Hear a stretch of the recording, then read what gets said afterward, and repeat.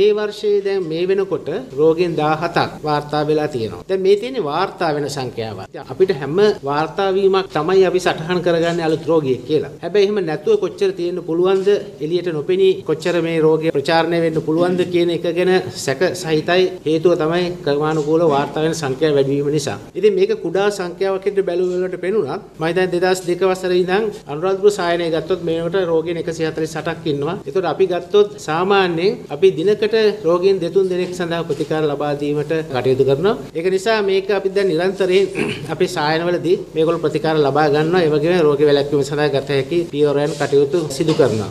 ආසාධිතයන් සඳහා ප්‍රතිකාර ලබාදීමේ නිසි ක්‍රමවේදයක් සකස් කර තිබෙනවා. නොපමාව අවශ්‍ය පරීක්ෂාවන් කර ගැනීම සඳහා පියවර කන්නා ලෙසත් විශේෂඥ වෛද්‍ය අජිත් කරවිට මහතා ඉල්ලීමක් කළා.